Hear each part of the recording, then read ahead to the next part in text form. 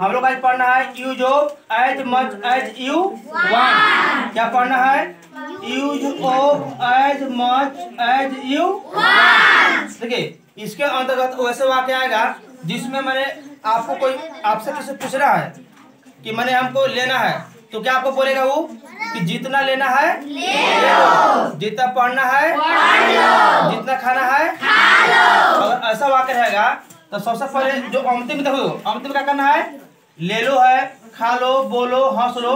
पहले इसका वर्ड लिखना है। क्या करना है? जैसे लेना क्या होता है? लेना होता है? टेक। क्या होता है? टी ए इसके बाद क्या करना है आपको?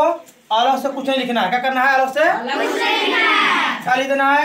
As much as you? As much as you want क्या? जस का? उसी प्रकार देखो जितना खाना है खा लो। तो आपको इससे कोई लेना देना नहीं है। खा लो है इसका खाना का स्पेलिंग होता है ईट क्या होता है? इसके बाद आपको लगा देना है एज मच क्या लगाना है? As much as you you want बन जाएगा फिर है जितना बोलना है बोलो। जितना बोलना है बोल। लो ठीक है? तो जितना बोलना है बोल लो। तो बोलना क्या होता है? क्या होता है?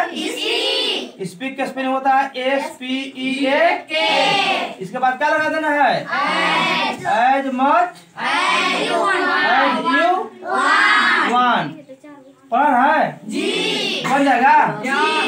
एक और देख लो। जैसा कहे कि जितना हंसना है हंस लो।